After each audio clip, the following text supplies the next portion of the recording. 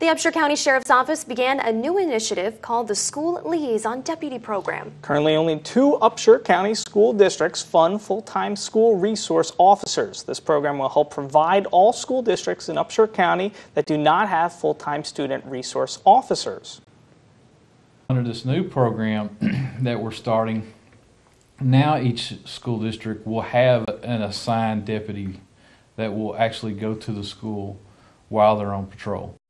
While on patrol, each SLD will become familiar with school personnel, assist in school zone enforcement, and coordinate emergency response preparedness between their assigned schools and the sheriff's office.